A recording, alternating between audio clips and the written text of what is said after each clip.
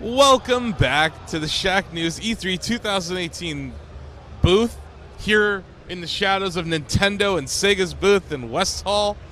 We have a very, very, very special guest from Media Molecule, Mark Healey. Thank you for stopping by this booth. Thank you for making the time. I know you're very busy here at the show, a little jet lagged. I'm, my body's here, but my brain A is lot up, up there somewhere. Yeah. so, how far jet did you have to travel for the show? Uh, I came from England. Okay. So I don't know how far away that is.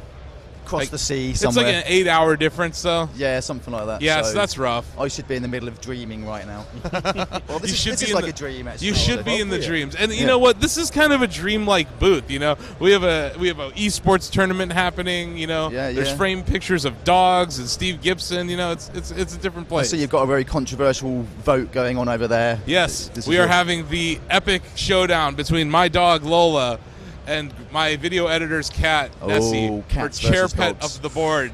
Yeah. It's a power struggle for the board of directors. Who's at winning? Shacknews. Who's winning? Determine the future of Shacknews. really like which leader do you really want you know and i clearly i'm biased i love my dog but uh no you know i got to try out dreams at judges week Yeah, I remember Uh, that. you yeah. know we, that's when we met we actually had an interview there we appreciate yeah. you making more time to talk to us because i love this game and Oh, i don't know if it's even a game uh, would you? How would you describe this? How would you describe Dreams? Is it a game? Is it an engine? Is You- it a gamified engine? You could describe it as a, a collection of games, if you like. Uh-huh. Because the point is, it's going to be an ever expanding universe of games or movies, music.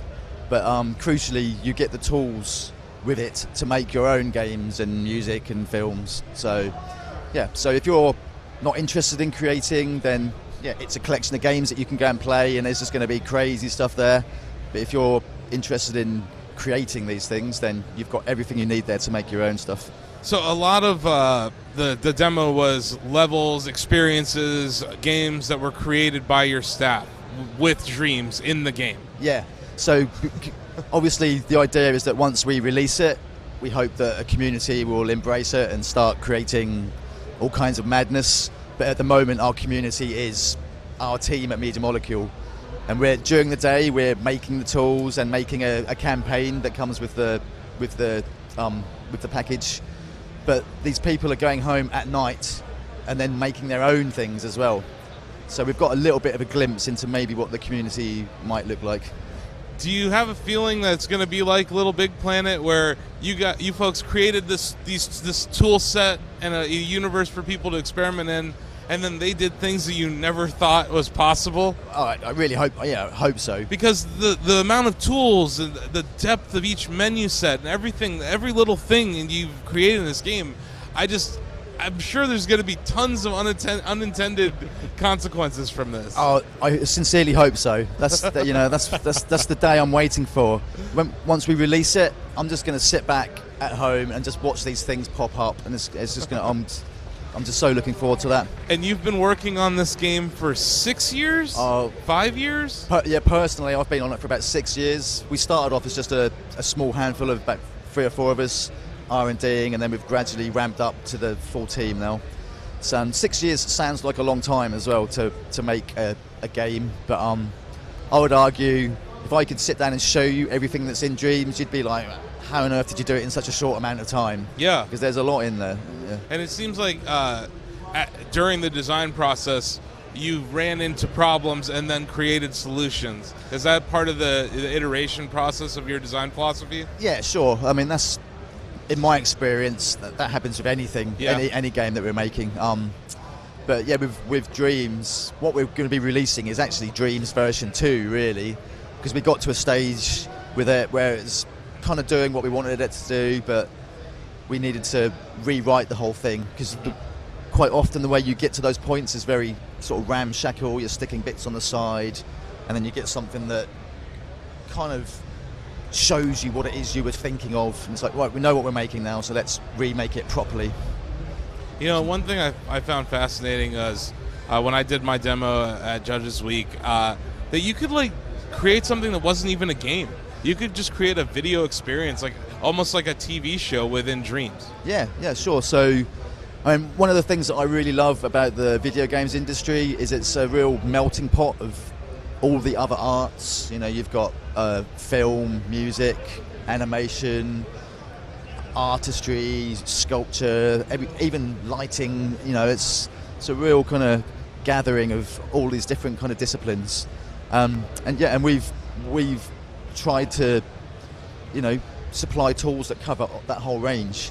So you've got a music making tool in there, you've got animation, scene assembly, y- the whole thing. So you could make a film if you wanted to, or maybe you could make a cartoon series, or a game, or an interactive film, or hopefully something that we've not even thought of yet. Some new genre of media that doesn't even exist, possibly. Who knows? Yeah, and I think there's like a the, the art style is definitely informed by some of your past uh, titles, but it this game looks different Yeah. than most other games. This is your own engine. Yeah, so um, yeah, we've got some amazing. eh, Well, we've got our engine department is basically one person actually, a guy called Simon. Wow, really? He- he's a yeah, he's a genius. Well, Alex initially, Alex, our technical director, was kind of doing it initially, but then we've got this other guy in Simon, and he's just a wow. brain the size of a planet. is is amazing.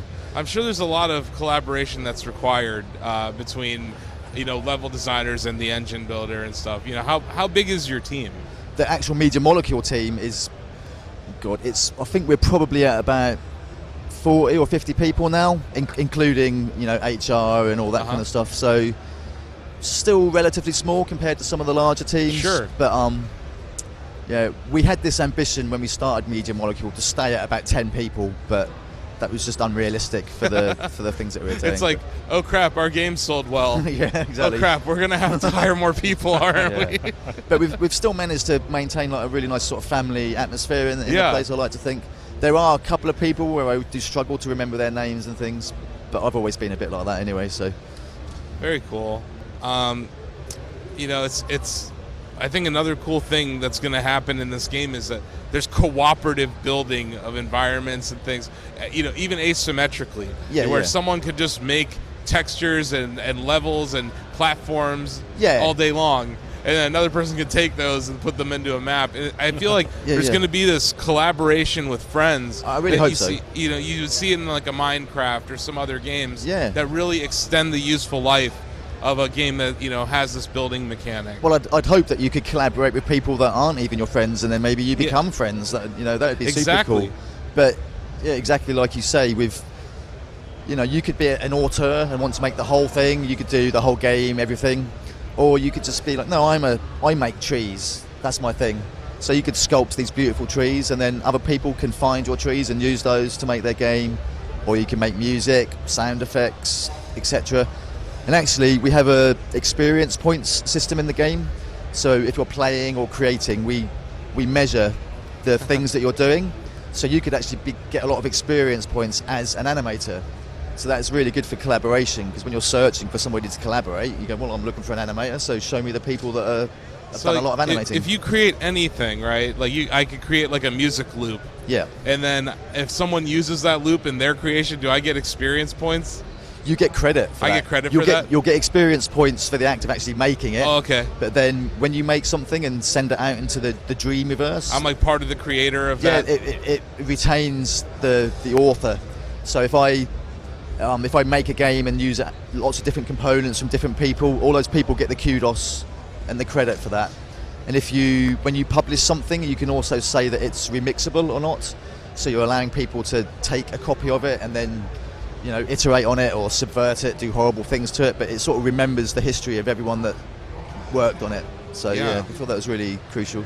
So unfortunately, we have to wrap up our interview. Oh, wow, And like I, went so know, quickly. when I was talking to you off camera about it, I was like, I find it almost We impossible. didn't get to speak. But that's okay. I was actually uh, so Asif and I live very close together, and he's been r- raving about this game for weeks. I was here mostly for the conversation. Uh-uh. I wanted to learn more about the game. Oh, okay. Well, you should drop by and we He's can give you a he- demo. yeah, uh, he's he's my Andy Richter for this one. but yeah, like uh, I we uh, I, I was gushing about this game in my preview for it. And also, I said it was one of the most ambitious video games I've seen in like a decade. It's definitely ambitious. yeah, uh, because it's uh, I, I worry it's almost too damn smart. It's almost too damn good. Like we almost don't deserve it.